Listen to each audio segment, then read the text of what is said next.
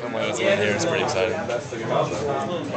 Karl, uh, could you just talk about that play where you hit the running back and just forced the ball out? I didn't even know he fumbled, to be honest with you. Uh, I just I just uh, made the tackle and I, you know, I, I just thought he, he, got tangled, and then I looked around and I saw the rest going like this. So. And then, uh, just what changed for you guys after Michigan went down the field to open and drive and scored? Because it seemed like, at least while Denard Robinson was in, you guys were able to clamp down defensively. Yeah, I'm not. I'm not sure. I, I don't know if we just got uh, used to their speed or what, but uh, uh we made a, not a whole lot of adjustments, but we just kind of settled down and started playing and then just having the offense be able to capitalize when you guys made big plays, whether it be you know Tyler's interception or Adrian blocking the field goal, you, yeah. guys are able to get points on the board right after. Well, even in the fourth quarter too, yeah. like when we're struggling, they offense picked us up throughout the whole game. So you know when, when they do that, that's pretty big. It's like winning a game here. I mean, how many Iowa teams have won at this stadium?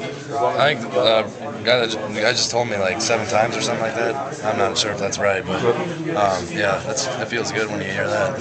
kind of neat to celebrate with the fans at the end, and while all their their fans are gone. I, I love it when we, we can do that at uh, an opponent stadium. You know, our our crowd, you know, our fans are the best. You know, they come and support us wherever we go, and it's pretty nice to share with them after after the win. What about playing in this atmosphere? What was that like? It was, it was pretty crazy. Uh, it got pretty loud.